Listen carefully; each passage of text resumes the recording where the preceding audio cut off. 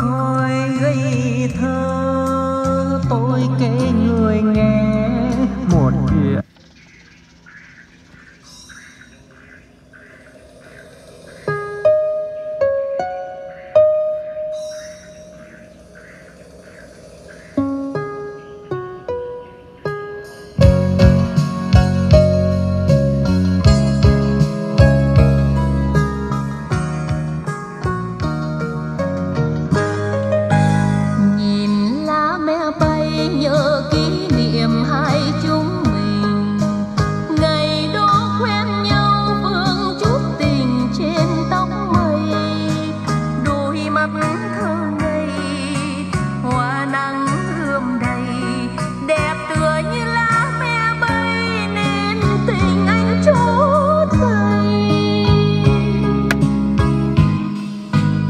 ngày